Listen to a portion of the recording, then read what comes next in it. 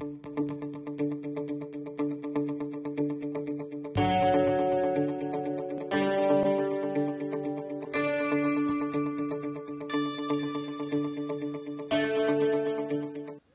children. Let us start third lesson judgment of the owl. First I am read the lesson. You also see the textbook.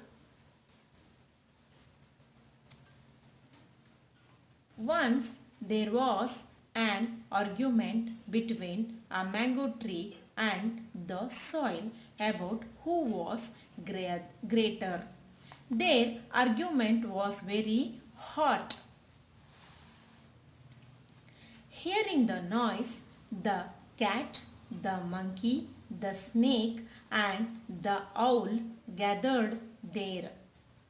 Everyone requested the owl to decide the dispute.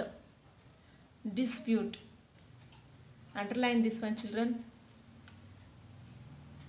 Okay, the owl cleared its both throat and asked both of them to present their arguments.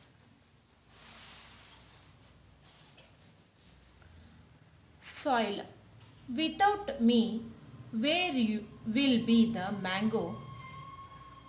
Without me, it cannot take birth.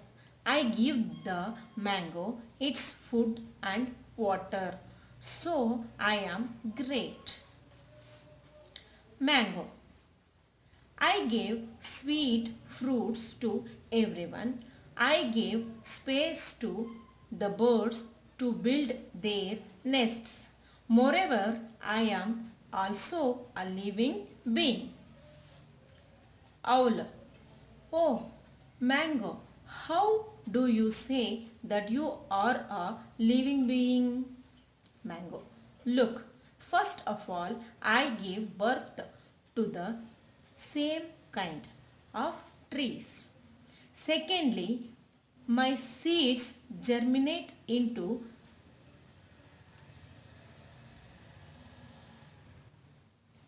saplings and grow into plants.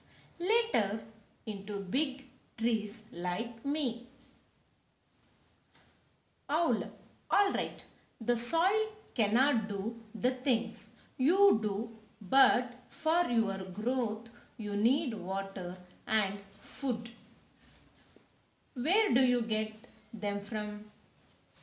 Mango. I get from I get them from the soil. Owl. See, you need the soil for your growth. Mango. But I get food from the leaves shed by me. Soil.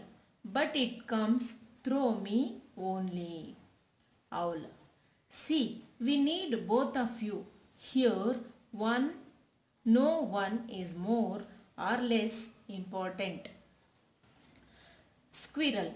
Dear Owl, Mango said that it is a living beings. What about the soil then? Owl. Soil does not grow. It does not need food. So it is a non-living thing. Monkey. Why did you say that both are equal and we need both of them?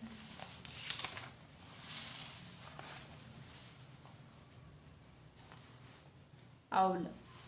Look around, dear monkey. There is soil, water and air.